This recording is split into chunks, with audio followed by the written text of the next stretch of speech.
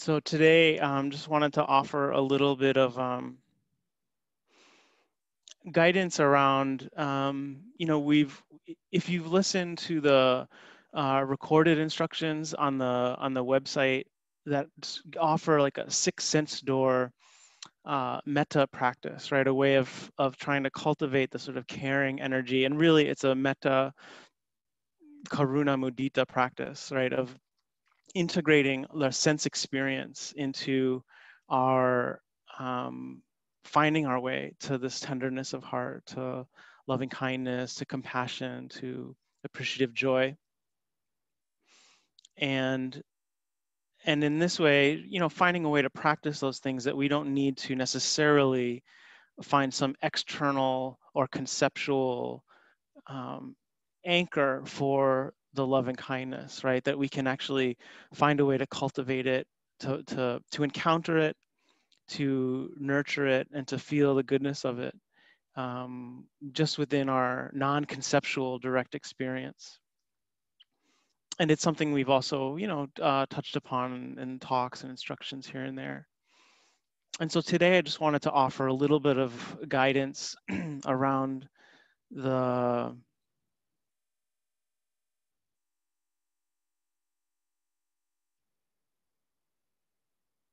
the tool technique, the way that we can um, do a very similar thing with the quality of equanimity, right? With the fourth Brahma Vihara. Um, and so it's um, just a little bit different than our kind of normal Vipassana instruction in the morning, but it seemed like an important tool um, we wanted to be able to offer during um, this retreat. So you have that in your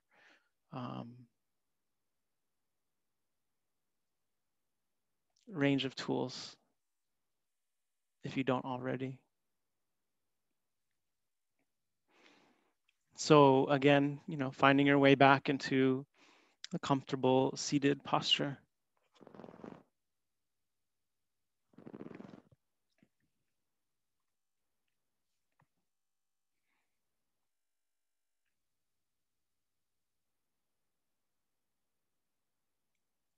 And as we begin to come into relationship with this unfolding of our sense experience, mind and body, just as we've been doing.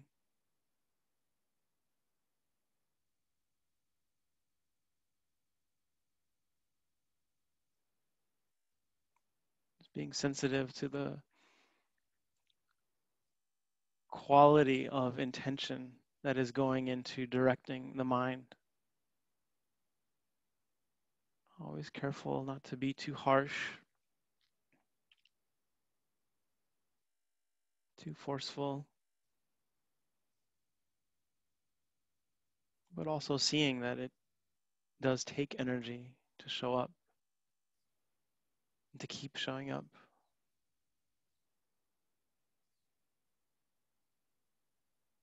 As all these phenomena change,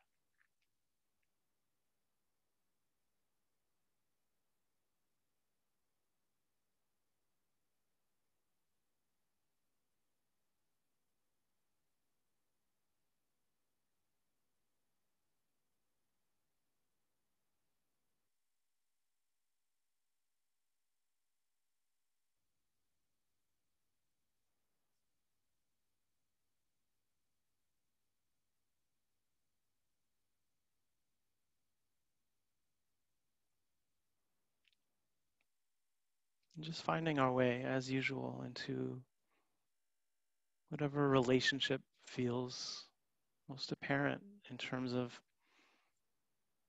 receiving sounds, receiving visual impressions,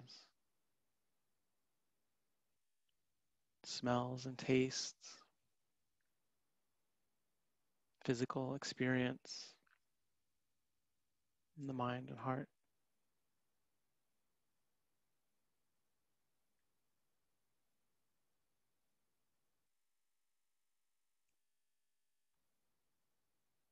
And so, just as we in previous days have learned to invite a sense of tenderness or warmth into the mind, heart that's receiving sounds, receiving body sensations.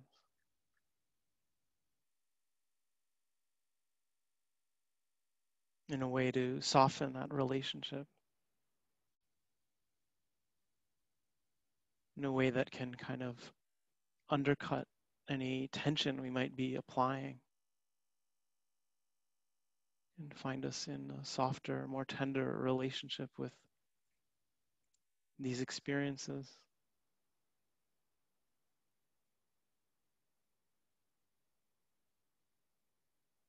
You can also see if there is any of this other quality of the heart available.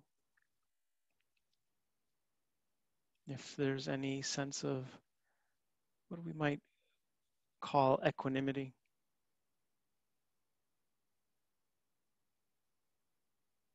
a sense of acceptance, of peace.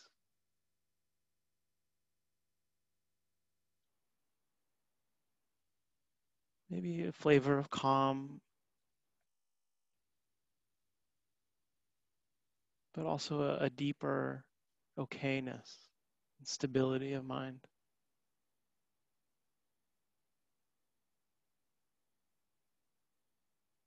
sometimes it's just worth looking to see if that aspect of heart is available. Just like we might do with loving kindness or compassion.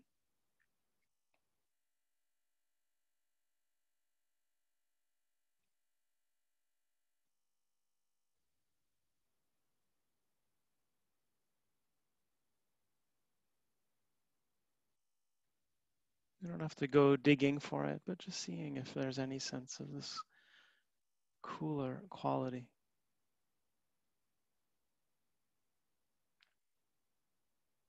You may or may not notice. But we can start to see that there is a way of exploring,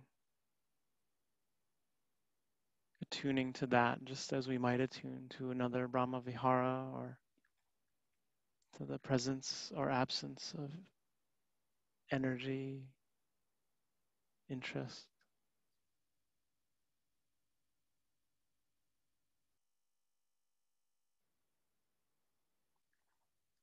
And so, as we start to receive perhaps the stream of sound,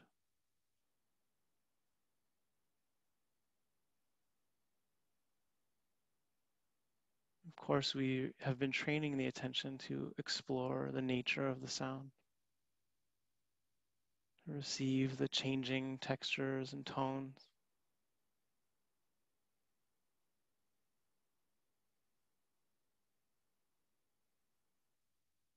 And in this case, you might incline instead to just seeing if there's any way that the heart can receive whatever it's receiving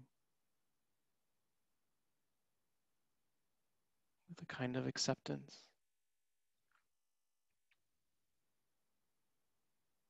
These sounds are changing and flowing.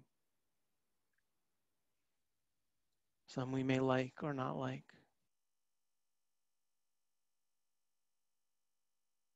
A quality of the heart that receives them peacefully without preference. It's okay. And some are loud and some are soft. Some are pleasurable, some are grating.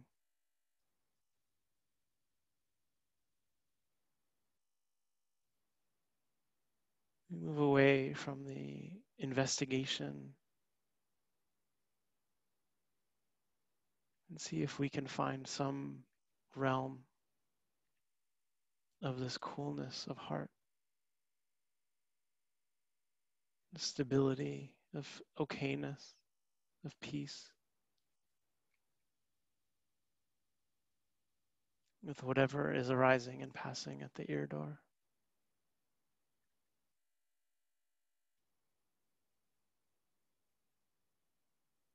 Don't need to get involved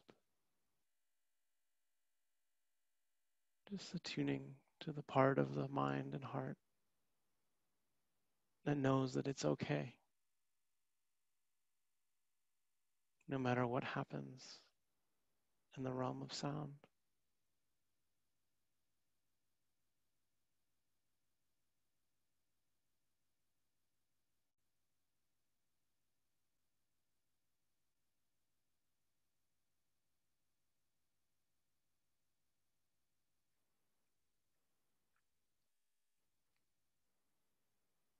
Course, we see that seeing is still happening even with our eyes closed. Color, shape, movement, form, light and dark.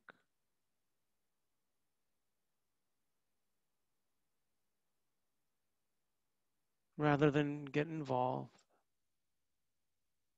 rather than looking more closely, we can attune to the quality of heart that's accepting of whatever arises in the visual field.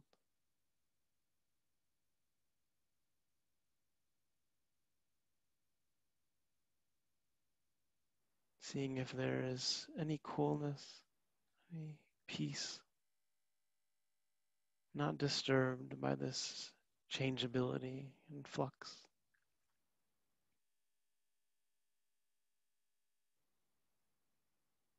And if so, feeling the relief of that coolness.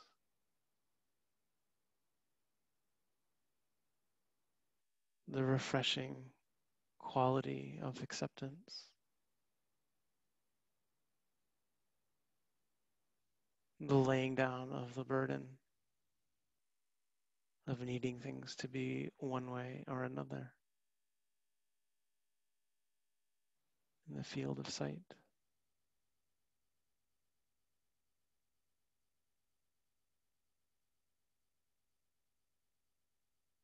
And this relief can permeate the mind.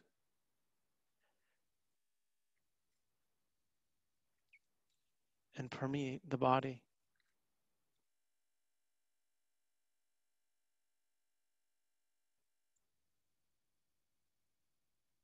This cool, dark nourishment of acceptance.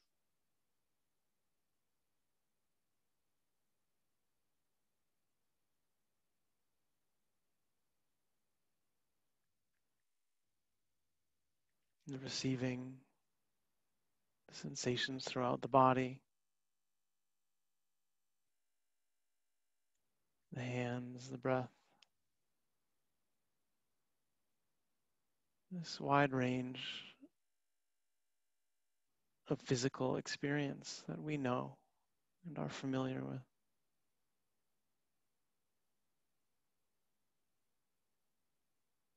Realms of pleasure and pain.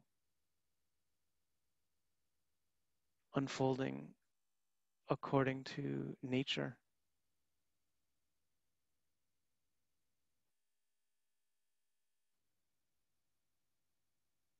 Out of our immediate control.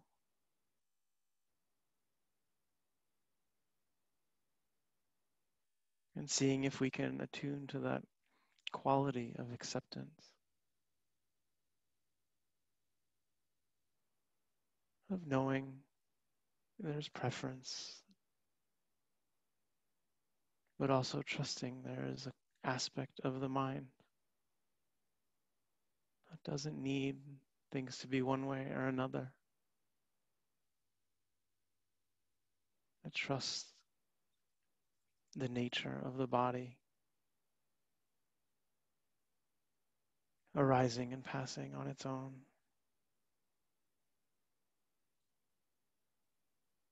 According to conditions.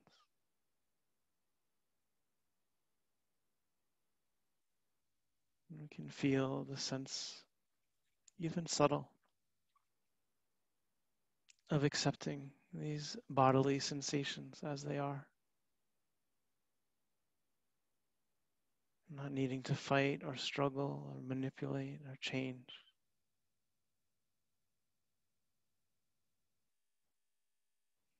Not even needing to investigate.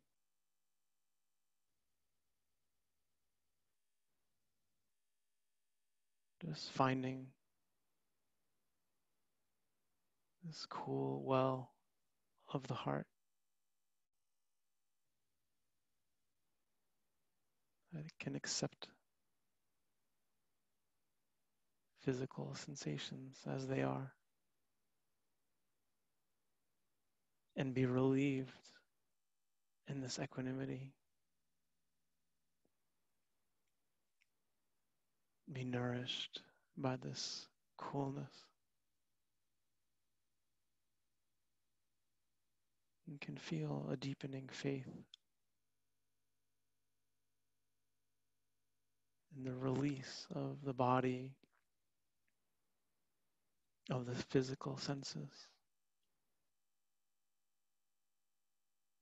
from the tightness of our preference.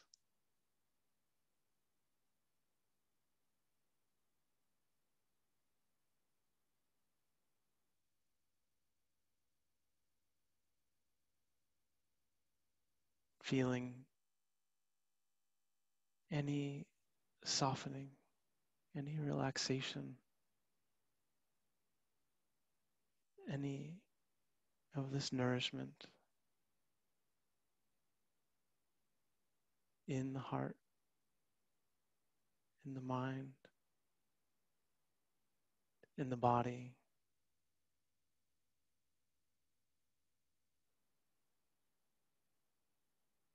Settling in slowly to this pool.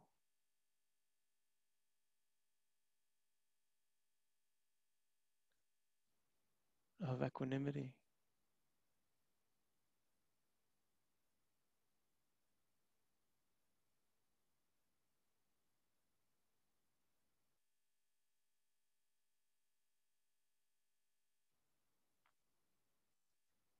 And even the aspects of the mind that arise thought, emotion,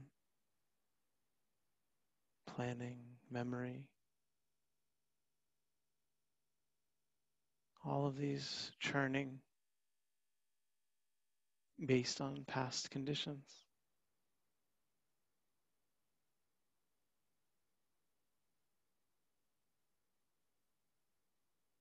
Can we find an aspect of the mind that is unperturbed by thought, not distressed by the natural unfolding? Of the mind itself.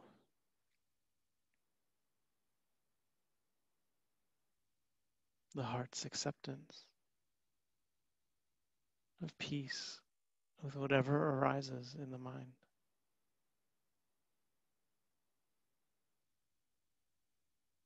Not judging, not needing to figure it out or control. Experience of the mind arising and passing based on conditions.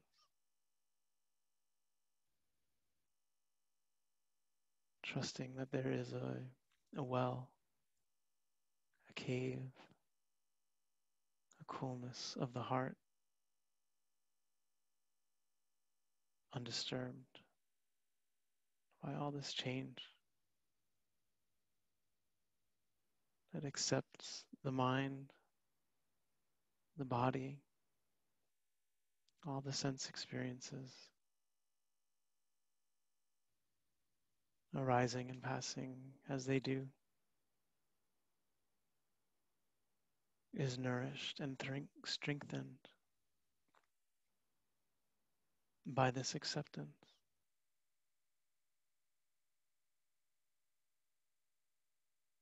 quenching our thirst for peace.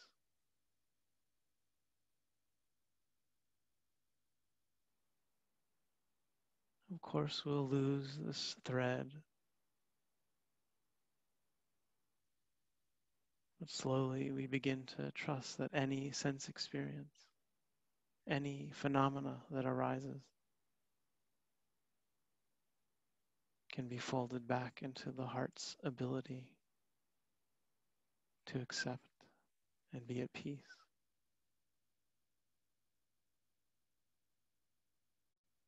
Nothing need be outside the heart's capacity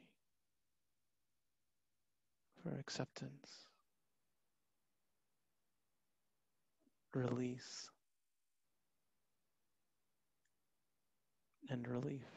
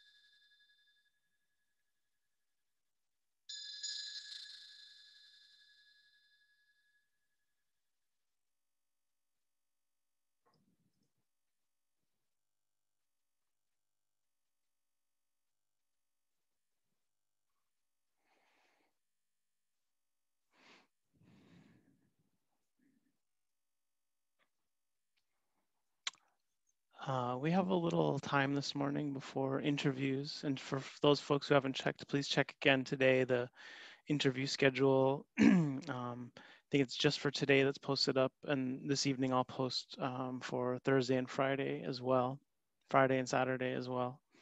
Um, but we have a little time now um, for Darini and I to answer any questions you might have about your practice. I think we'd still like to keep it to the folks who are the kind of full-time yogis.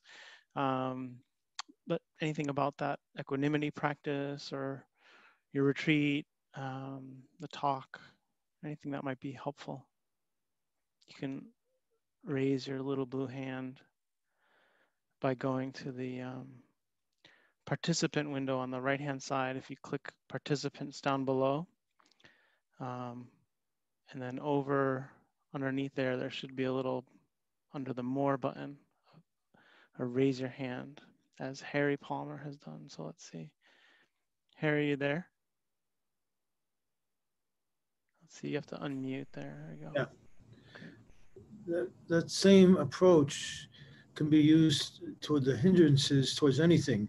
Having this equanimous feeling, and then if torpor arises, meet it with equanimity. Yeah, it's it's it's yeah. Okay. Totally. I mean, it's it's a good point because I think it's like that that is it's our you know, like if you look at the tradition or you look at sort of maybe our own impulse, right? The sense of like, oh, well, sloth and torpor comes up or restlessness comes up. And there's this idea that like you should do something about it, right? It's called a hindrance. It must be bad. There must be like some way to counteract it. And there are tricks and tools that are, you know, can be helpful at times for all of those things.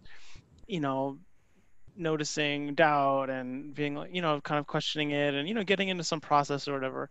And those are all useful. And i think that your your point which is something that we really do try to emphasize is if we feel like our freedom is based on needing something to be there or not be there it's not freedom.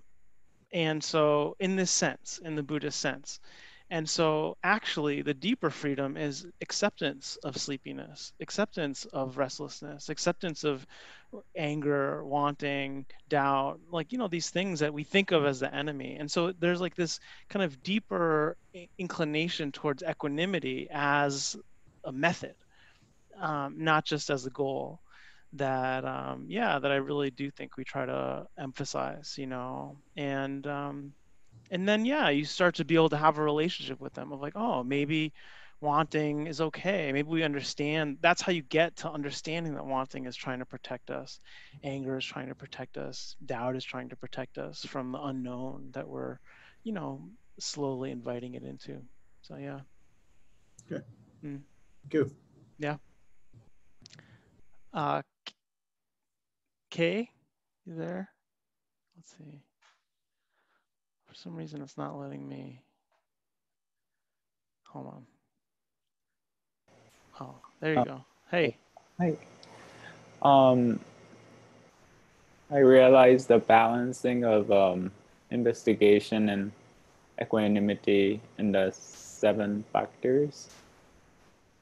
And oh, like in because we're in I don't know how many days, it seems like there's so much momentum that I just want there's that wanting to investigate all the time and the pulling back in a way of equanimity felt really really balancing. Um, and i i heard michelle or stephen talked about it before just a little bit. I forgot when but what's the difference in that equanimity and seven factors of awakening and the Brahma Viharas.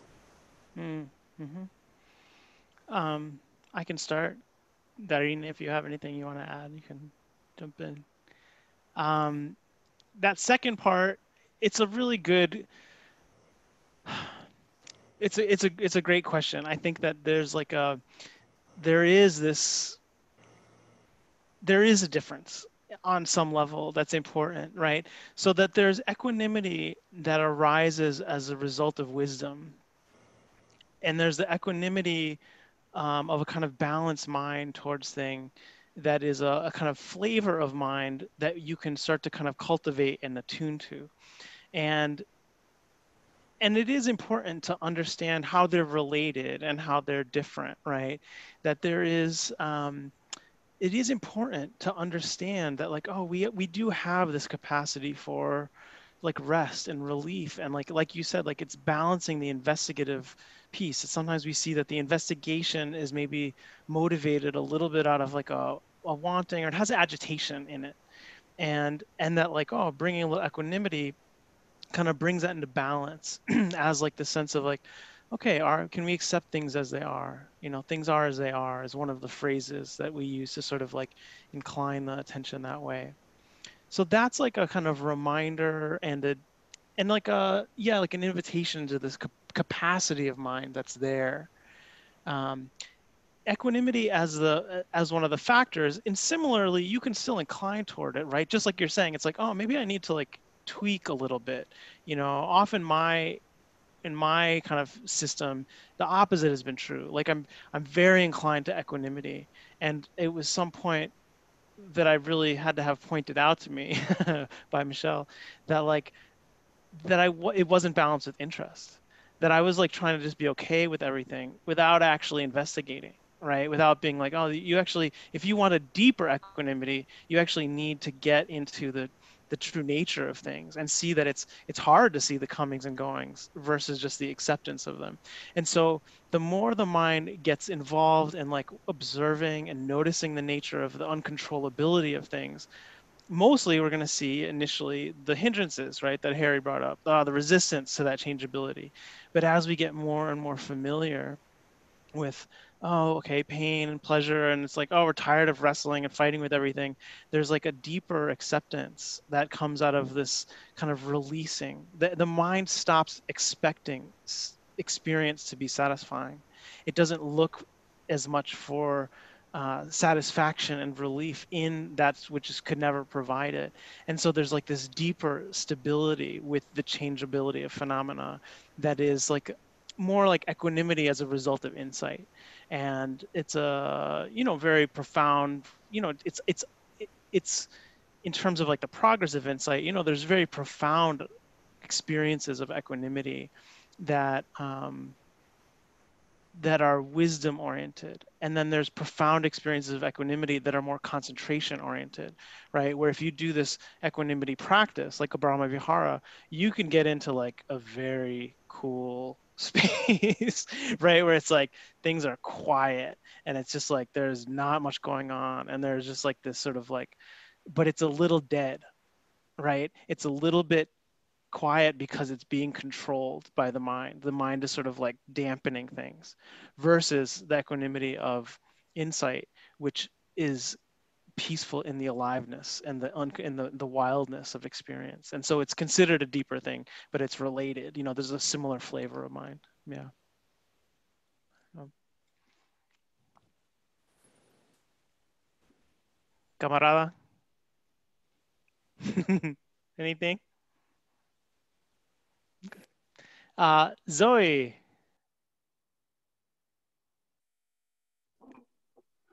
So um well, first, I worked a little bit yesterday with Michelle's metta phrases. And when you started today about equanimity, I just realized that those phrases had all the Brahma Viharas in them. Um, you know, may I be happy just as I am, be peaceful with whatever's happening on my side. It was amazing how they all had all the Brahma Viharas in those phrases. But the question I had is, will, you, was, will you just before you go on, will you which which uh which which phrases are phrases, you may i be i mean she shared these you know years ago so i don't mm-hmm. you know they might have changed mm-hmm. but it was um, may i be happy just as i am which is equanimity and you know compassion and also mm-hmm. mudita in there too Great. and may i be peaceful whatever is happening which is you know equanimity and i love myself completely mm. and it just brings all of those qualities into this the sitting and being with the vipassana. As I sort of just sort of dropped drop those phrases occasionally, um, with the Vipassana. But I was also been working a little bit with trying to notice unpleasant or pleasant before going to, before you know, um, mushroomed into clinging or aversion. And occasionally I can, but the bigger ones, it's like they're laminated together. I'm not able to, to it just, it, it's just laminated. Um, and so I wonder if you have anything you can share how to work it with it when there's just, it's hard to find yeah. The, the unpleasant and the aversion are, are yeah. so close, yeah. Yeah. The other ones is a bit easier to, you know, to notice the pleasant and to, you know, notice the movement towards, but, you know, release it. Um, and occasionally with, I mean, maybe at the point if it's unpleasant and I don't get up and walk away, like, like say sound, um, maybe that's just being with the unpleasant and, you know, I haven't acted out the aversion, but the aversion feels pretty strong. Um, and occasionally I can sort of just be like, okay, unpleasant, but mostly it just speedos into aversion. Yeah. So great. Darine, do you want to start or you good? I'm not trying to pressure you. I'm just giving space if you want. I mean, I, and I guess just one more thing. I guess, you know, I mean, I can always bring equanimity to the aversion at that point. Um, but if there's some guidance mm-hmm. to how to widen the gap between the, the two. Okay. Um, I don't know what Jesse is gonna suggest, but um, if you're seeing, like, not to make, if you're seeing aversion, if you don't, if you miss unpleasant, no problem. Like, don't make that um, a project or, or um, just whatever you're seeing in the present moment is great. And um, as the mind gets quiet and more quiet, perhaps you can start noticing sometimes the unpleasantness um, right away. But I wouldn't make it a big problem. It's okay. Whatever you catch it, as long as you catch it, it's great. Okay. Thanks. Yeah, I, I totally agree. I mean, it's just the mind. I was saying this the other day to someone some teacher, someone went, I can't remember who it was and what teacher they went to, a monk, and they were like, should I incline the attention toward Nibbana or something? And the teacher was like, no, the, you know, the mind will get the object it deserves. and there's something about that that's like, eh, it's like whatever the conditions are, you know, it's like, yeah, there's concentration, there's more or less, you're seeing what you're seeing. And yeah, I wouldn't, I wouldn't mess with it. And I think, you know, just, yeah, th- there might be times you start to notice it. It's very subtle. That's very subtle. The distinction between aversion you know, unpleasant and aversion. It's happening so quickly, and yeah, you just don't know it. And then maybe you notice, oh, you're having aversion to the aversion, or the aversion itself is unpleasant. And you know, it's like like Darine is saying, you catch it where you catch it, and you're seeing what you're seeing, and don't. It's like to get frustrated with the mind as it is is part of what you're even saying right around equanimity it's like it is this is this is it this is the condition of the mind right now and you just keep keep watching and seeing the more you tighten the less clear you're going to be able to see actually right? The more pressure you start trying to place the the the duller the mind gets actually. And so it's like oh relaxing accepting and and just seeing what's next yeah. Mm, cool yeah. Great everybody. Wonderful yeah. So um just you're in there you're in it you're doing it and um just yeah we're, we're really happy for you and um yeah really look forward to checking in more in a, in a little bit with with uh you know some of the group and the next day with more and again with more and keeping on this ride with you. So take good care and um good luck out there